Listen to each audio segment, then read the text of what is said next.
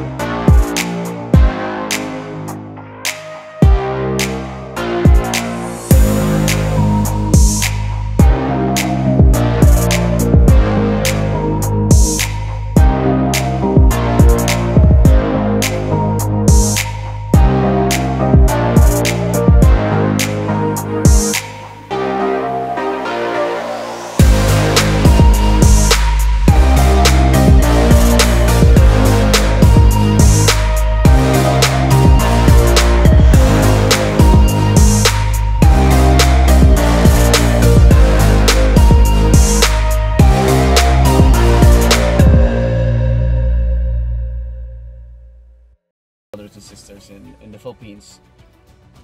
Instead of thinking of buying the, the next um, iPhone or, or whatever gadget or whatever uh, like non-essential spending you're thinking or you were thinking, I'm sure.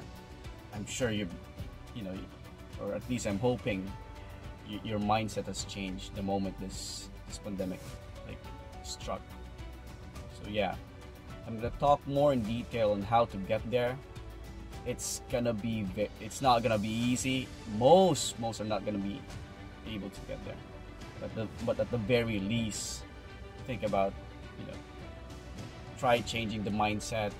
It's it's okay if you know your friends on social media, they've experienced this, they've eaten this, they got this. It's okay not to have that. It's okay not to spend on that. Just focus focus on yourself. Live well below your means. Okay? Because imagine if you know this isn't this isn't gonna be the last. That's for sure. Okay, and uh, who knows when the next big one will hit. So I just want you, I just want more people to actually be able to prepare better. Okay, and uh, having multiple income streams is is uh, part of that preparation. It should be least. Okay, and uh, yeah, the more hopefully the more people who who are able to actually achieve this, then the more people are gonna be able to help our our, our needy brothers and sisters.